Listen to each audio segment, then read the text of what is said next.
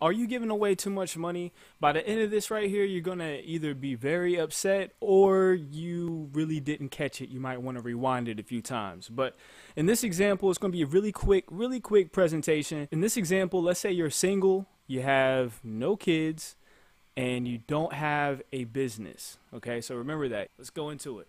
Tax season comes. Yay, everybody's excited. Everybody's jumping up and down. I'm getting my refund. I'm going to go ball. Anyway, you make $25,000 a year your personal exemption is going to give you back $4,050. Your standard deduction is going to save you $6,300. Business deductions, well, you don't have any because you don't have a business, so you don't save anything there. Your taxable income is $14,600. Now, if you did have a business, you could have written off $5,000 to $10,000 more and reduced your taxable income down to a few thousand. But that's for later on. We'll, we'll touch on that later. Let's just get back to the fact that your taxable income right now is fourteen thousand six hundred dollars. All right, at this tax bracket, you're going to pay nine hundred and thirty-two dollars and fifty cents plus fifteen percent of the excess over ninety-three hundred dollars. So let's do the math real quick. You start off with fourteen six hundred, you subtract ninety-three hundred. Now you're at fifty-two hundred. All right.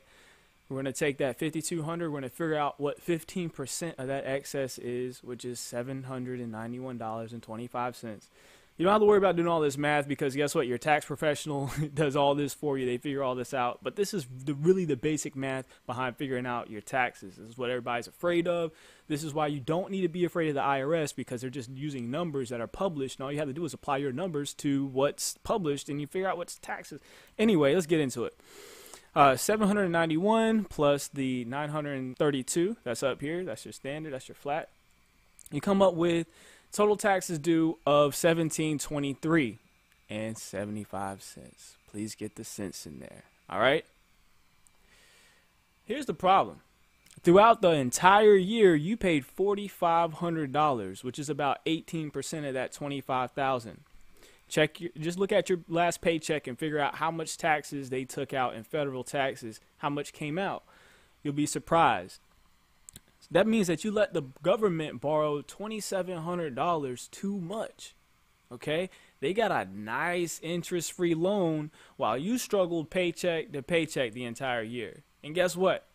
Since they're going to do it to you again this year, you never really get that money back it's a constant revolving $3,000 loan just about that you never end up getting back because they're doing it to you right now. As soon as you get your tax refund, it's okay because they just got three months of withholdings from you right then and there, you know? So that right there should go ahead and tell you that there's something wrong or it's something that you can't do anything about and it's just happening to you, okay? A sin is something that you do. A curse is something that happens to you. So I kind of feel like, you know, we're all basically cursed with this thing. But is there a solution?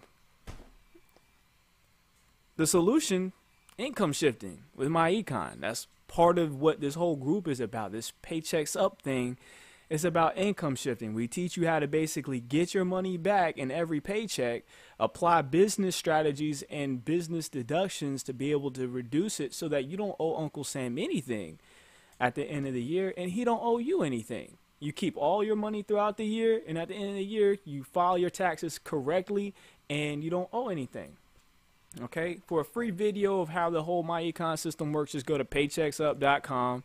You can watch that and definitely get back to the person sharing this video so you can sign up and get more strategies, software. You know, we have a system, we also have a support system. We have millionaire mentors in this thing, okay? Self made millionaires. So you definitely want to learn from somebody who's made a million, lost a million, and then got it back using strategies. Okay, once you learn how to do something, you never you never really forget. I mean, it's kind of like riding a bike.